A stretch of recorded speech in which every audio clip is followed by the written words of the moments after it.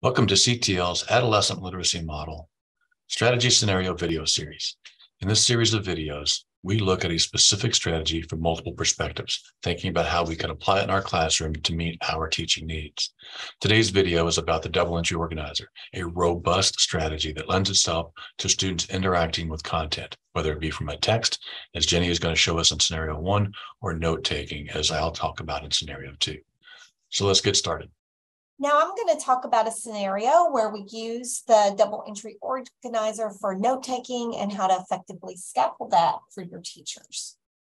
The double entry organizer is an effective reading strategy that promotes active engagement both during and after reading and guides students to take notes, reflect on their notes, generate questions about the content, and make connections, things like that.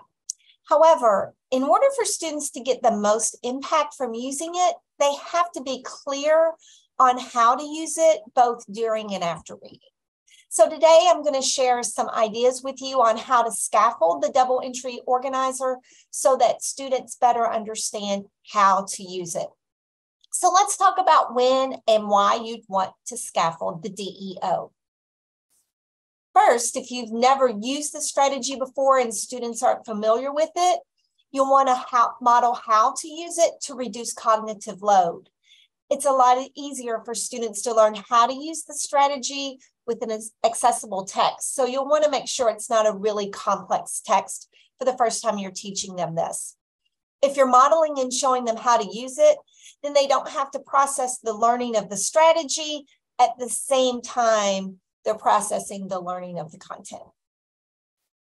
Likewise, once students are familiar with the strategy, if you're using a complex text, you might want to go back in and scaffold with them the use of that strategy with that more complex text. That'll be helpful to them to access and process that information. Scaffolding is especially important for our English language learners and special education students. In fact, they might even require more scaffolding or scaffolding for a longer period of time than our other students. So let's look and talk through some examples of what this might look like. Um, we want to provide students with support for the first time. So when they're using this for the first time, I would introduce the graphic organizer and explain the two columns. That students are going to put information from the text on the left and on the right is where they'll put their questions, thoughts, etc., in reaction to what they wrote from the text.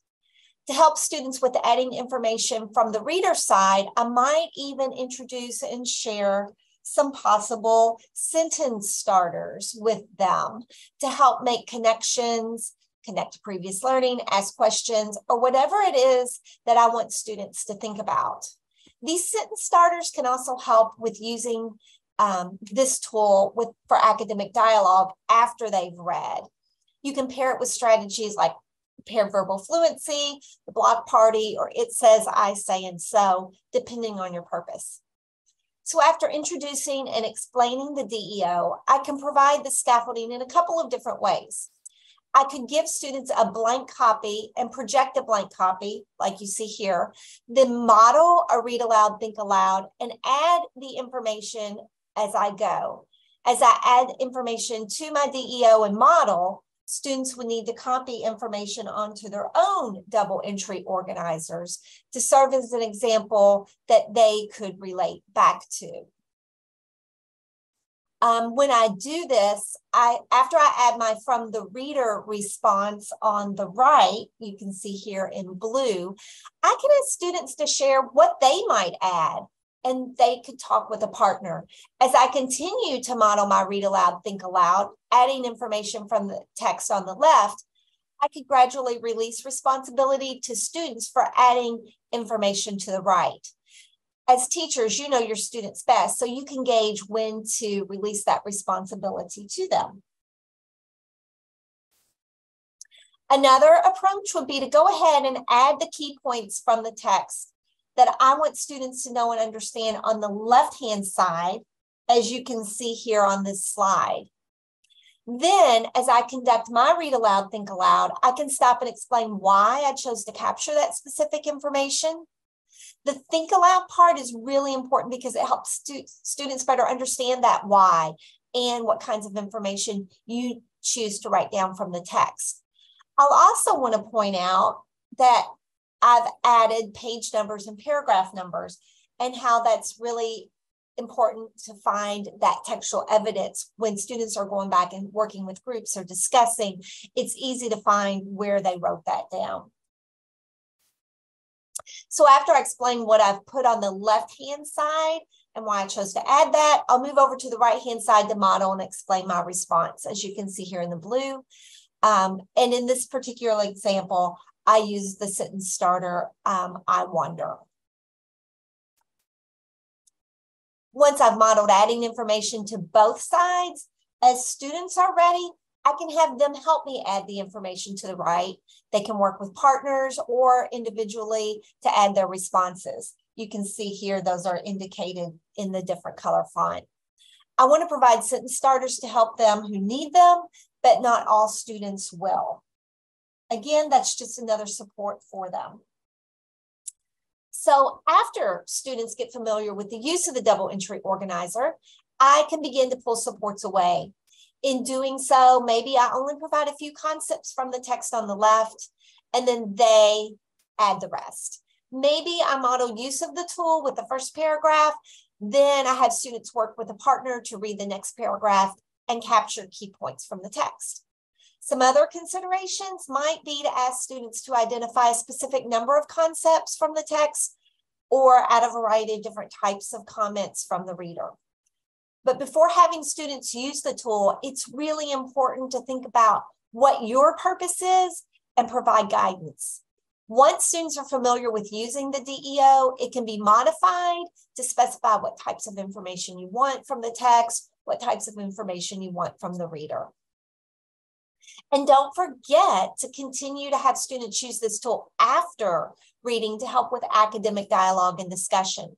They can use information from the left side to provide textual evidence in their discussion and information on the right side as a guide to make connections, generate questions, and so much more. Now, Roland is going to talk and share with us another way to use the double entry organizer. Thanks, Jenny. Let's look at the second scenario. I used this slide with teachers the other day, and I know it's a jumbled mess, but the point was that all of our disciplines have students grappling with content, whether it's constructing viable arguments in mathematics, interpreting data in science, constructing counterclaims in social studies. We know our students have to really grapple different ways with the content. That's what the second example is going to look at. Less about reading comprehension and more about a note-taking process, this idea of process analysis. Really important to start off with what are our explicit um, expectations? Um, for this example, I really want students noticing things because as soon as I notice something that cause and effect issue, I can begin to predict what's going to happen uh, as a result of that. Um, another piece of this that we're thinking about with process analysis is how am I going to make sure I've got this process understood and I know what the steps are? And then lastly, this idea of notes to future selves. How will I know to use this process in the future when I see a problem like this? From my teaching perspective, I want to provide my students the content that I need them to have, that scaffolding that Jenny talked about in the first scenario. But it's also really important that we begin to turn over as much of the thinking to them as we can. So, how do I design my instruction to do that? And then last but certainly not least, we want to think about um, what structure we can introduce to students um, for, around using their notes to move for, move their learning forward. And we'll talk a couple of different ways about this idea of um, study skills as a post-secondary success, whether it's college or career. And we know that they have to be able to take that information and use it later, helping build in that process. So let's look at this example. I would start with a double entry organizer right off the bat as part of my bell ringer routine, establishing that today's notes start now, taking full advantage of that first 20 minutes of prime learning time um, that we know the, the student's brain is ready to, to grapple with new content, um, activating prior knowledge, and really kind of setting them up for success with vocabulary. So they're going to do a compare and contrast today's example with um, an example from their notes from yesterday. They would go back and look at their double entry organizer from yesterday to compare these two problems. Um, you see it here in green, but they would just go back to their notes. Um, I would also have them do a quick vocabulary check. There's a couple of different ways of doing this, but have them work with their partner or small groups to identify words that we used yesterday that they think would come into play today. Um, it also might be an opportunity for me to front load some vocabulary that I know we're going to be using. So I might add it there and less about them discovering it, but more about them being able to explain what those terms might mean. So things like term, um, distributive property, um, inverse operations, any of those terms that would go along with this, I might front load that to set up the expectation. This is some of the language we're going to be using today. I can really easily see this compare and contrast establishing three different kinds of answers. One might be, I just noticed something. I don't know what to do with it, but I do notice there are parentheses in one of the examples um, and not in the other. But I also know there are X's on both sides of both examples. That idea of, again, compare and contrast, beginning to notice they're developing that capacity. The next version might be, I noticed that, and I think we have to get rid of those parentheses so that it would look like the example we did yesterday because what we know is we know how to deal with that example from yesterday. That's that part of that process analysis. And then third, might come in a couple of different ways. If your students aren't comfortable yet with the distributive property, this might be an opportunity for you to help model what that might look like. So they're going to notice it, and then we might admit, immediately process inside of a process, simplify it here on the right-hand side um, so that they can use that information. I always try to have students think about it both procedurally and conceptually so they can really build their understanding of these new processes. Multiple ways of doing something is not a bad thing. So it's important to recognize that the notation on the left-hand side of this double entry organizer is very intentional. This is a chance for me to model um, not only the language I'm going to be using, but the structure I want the students to be capturing uh, on the left-hand side. But on the right-hand side is their thinking. We want to be very careful here. We know that takes time on the left-hand side to get that problem worked out. But if we want them to think and we want them to write, we have to build in extra time to do that. It can't just be the same thing we've always done. We've got to build in those very intentional pauses. And so one of the things we can do here is slow it down. We've already done that with the first pause. The bell ringer really is our first pause, accessing their prior knowledge, getting them to bring something to the table, talking about it it's really important that we also think about um, if we go back to this step right here and we let all students do this individually, think about the discrepancy of knowledge between that first person and potentially that third person. Um, by having students do some individual time, work time, but then in pairs or small groups talking about it, we've now leveled the playing field to move the learning forward. So now when we get back to this pause, I think the second pause could come right away what's the next step we're going to do? Either again, in pairs or small groups, have students talk about it. In this case, we're subtracting 2x from both sides. A lot of early algebra or eighth grade students will subtract 3x's from both sides to get the x's on the left-hand side. That's a perfectly valid approach. Um, it's great counter conversation at the end to think about which process would be more efficient and why. Um, the third pause might come right away, but I think in the flow of the work, that'll happen pretty quickly. So I think the third pause for me would happen here. Okay, so we've got an answer. Does our answer make sense? And how do we know it makes sense? Really getting students to think about not just can I replicate a problem, but once I've got an answer, does that answer make sense? All right, Roland. So let's talk about the double entry organizer a little bit. Yeah. So Jenny, I really appreciated when you got started with yours, you were talking about the different ways of scaffolding the the strategy, and I really appreciated it. A lot of times we think about scaffolding a strategy when it's the first time students or the first couple of times students are seeing the, the, the strategy. But I really liked in yours that you talk about when students are grappling with a complex text, it's still the value of having some scaffolding to go in there. So it's less about the process, but more about the content. Can you talk to me a little bit about how um, that scaffolding might be the similar or different um, for for the that purpose. Sure, Roland. So we know that um, sometimes it's scary for teachers to provide students with texts that are grade level text if they're not reading on grade level. Um, so providing the double entry organizer and scaffolding that and modeling with them is really helpful for them to better understand how to navigate that text that's a little more complex for them. Um, being able to chunk the text is really important. Maybe the teacher reads a paragraph aloud to them, adds information to the left-hand side to help students better comprehend what's going on in that passage. And if students are able, they let the students go ahead and do the right-hand side because they know that process. So maybe the teacher does that for a paragraph or two, and then steps back, releases the responsibility for the students to do the next paragraph to see how they're doing with that.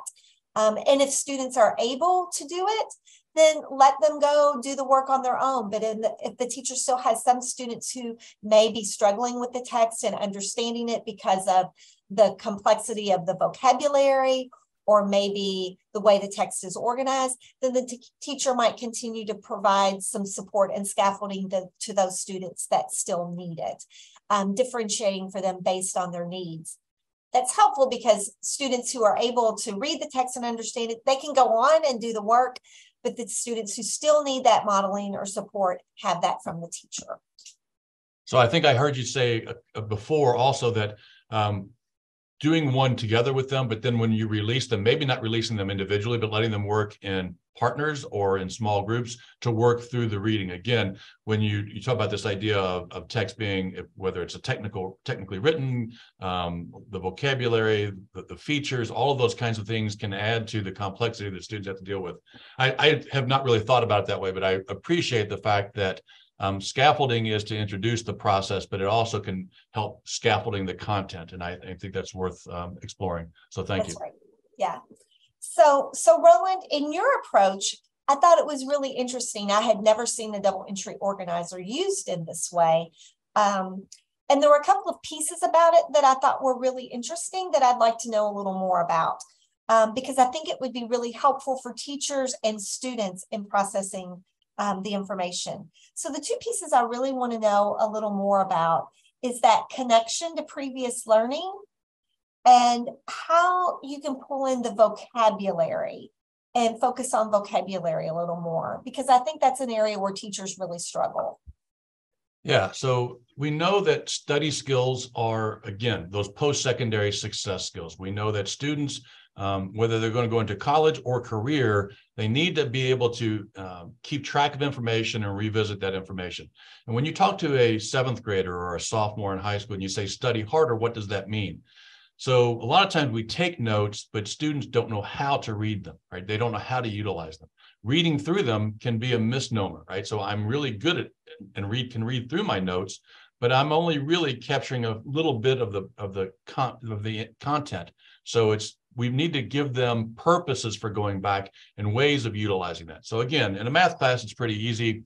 We might have an example from the previous day, um, and we might have an example that we're going to do today, and having them do something like a compare and contrast. That's a that's a really simple thing. And then once we know the process that we used um, and we've got them looking similar, we can apply that same process of going back and making that process valuable. But that compare and contrast can be with any content. It doesn't have to be math. It can be in a science class or a social studies class, but really thinking about what are some of those key questions that you want students to be able to grapple with. So in a social studies class, if you're taking notes on this left-hand side, one of my favorite things to do is to have students um, think about what's a question you think I, as the teacher, would ask you um, about this content. What's great about that is now they're answering the question and not just reading through their notes. So that idea of different ways of interacting with the content. But that means I have to plan That's to right. be able to revisit, right? So I need to know that today's content connects back to yesterday's content or two days ago's content, and I have to have that connection explicit for them. So let's talk about a couple of things in classes. We know this, that uh, students won't always remember to bring their notes with them. So if I plan a lesson and the notes aren't there, then how am I going to deal with that? Well, teachers are uh, uh, know that their students are this way. So maybe they keep the notes in the classroom in a folder. They keep their, their um, uh, notebooks in the classroom so those students go and get those notebooks. That way the, the content is there. If the students don't have that content or they weren't there that day, they just work with a partner or they work in their small groups to figure that out. That's not a, a hard thing to do. I really appreciate the idea of vocabulary. And I think that's one of the things that this can really do. When I go back and I look at the notes, I may not have written down all that vocabulary, but if I'm talking with my partner about what's some of the words that we used when we were doing this, I'm accessing that prior knowledge, I'm firing those neurons, I'm getting them to think about the vocabulary that at least they heard me saying, um, but they can also think about the vocabulary that they may have captured in their notes. So thinking about what are some of the new words we have. So I mentioned that, that idea of if your students aren't familiar with the distributive property or they they're not they're not they don't have the distributive property mastered making sure that maybe you add that word there and say hey this is one of the terms i'm going to expect you to use today. So it's a little bit of me front loading and a little bit of them accessing their prior knowledge and then during the lesson being very intentional about using that language and, and calling them back to that language. Those are great ideas Uh, I'm hearing you talk about maybe students losing notes, not bringing them to class, makes me think that some teachers might even have electronic versions of the double entry organizer so that students always have access to them as long as they have a device. Yeah, yeah, that's a great uh, that's a great point. So with with the technology, we could easily take a picture of somebody's notes or have my own version of the notes already made. So that's a great way of getting students um, caught up quickly with the notes. I love that idea. In fact, I hadn't really thought well, about that's, it. That's that's what you did in your slides. Yeah, you had that so, and taken some pictures. So the purpose of this video was to really kind of take a deep, dark, deep, dark, a deep look at the double entry organizer and give you a couple of different ways of thinking about how you use it. We hope you've enjoyed the video and we look forward to seeing you at our next video series.